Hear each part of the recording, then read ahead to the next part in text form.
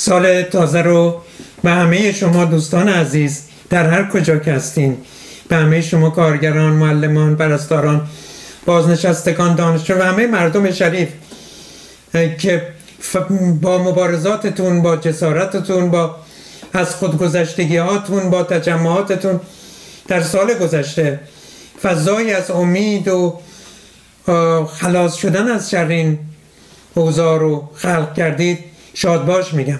امیدوارم سال تازه سال پیشروی های بسیار عظیمتر برای همه ما باشه برای همه مردم باشه.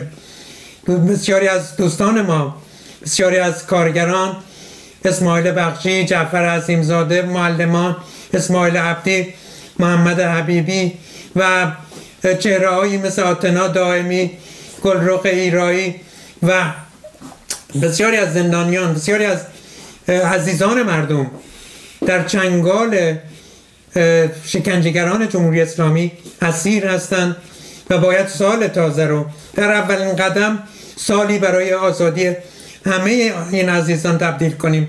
سال گشودن در زندان ها و سالی که امیدوارم سال کلا خلاص شدن از شر جمهوری اسلامی باشه. سالی که بتونیم جامعه آزاد برابر مرفه رو که در شعارهامون در مبارزاتمون مدام فریاد زدیم.